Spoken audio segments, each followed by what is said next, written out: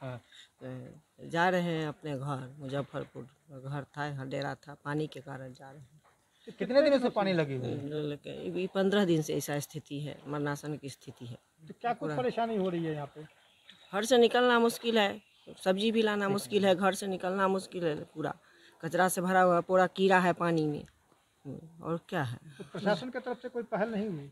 नहीं पूरा कीड़ा फरा हुआ है पानी में। घर से निकलना मुश्किल है इसीलिए खाली कर रहे हैं घर से जाना पंद्रह दिन से ही रवैया कितना दिन रुक रहेगा इस किरा में?